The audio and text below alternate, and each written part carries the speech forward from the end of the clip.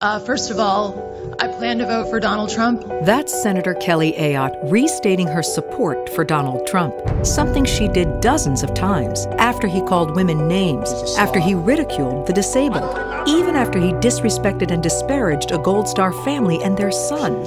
Ayotte still supported him. Would you tell a child to aspire to be like Donald Trump? Absolutely, I would do that. But now the political tide is turning. Support for Donald Trump is plummeting, and with it are Kelly Ayotte's chances for re election. So, what does she do? Ayotte is running away from Trump as quickly as she can. Senator Ayotte doing everything in her power to distance herself from Donald Trump, trying to save her own campaign. What she values is her seat, and she's trying to keep something she values. The real Kelly Ayotte, political, not principled, and definitely not for New Hampshire. Paid for by NEA Advocacy Fund, www.nea.org, and not authorized by any candidate or candidates committee. NEA Advocacy Fund is responsible for the content of this advertisement.